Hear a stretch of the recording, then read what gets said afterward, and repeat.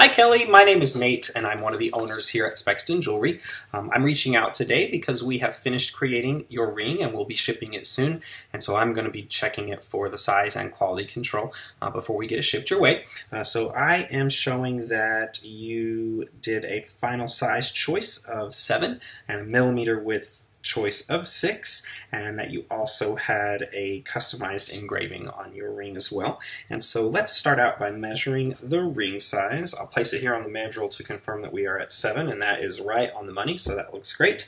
Uh, and then also we will measure the width of the ring to confirm that we're at a six millimeter wide, six millimeters, that looks good. And then I will take a quick look at your custom engraving, and that is nice as well. So everything looks great on our end. Uh, thank you very much for shopping with us. We really do appreciate the chance to create this ring. And if you need anything, um, you can email us, sales at spexton.com, or call us, 844 Spexton. Uh, but be watching for your tracking information in the next few days, and then give me a shout if anything comes up. Thanks so much and have a good one. Bye, Kelly.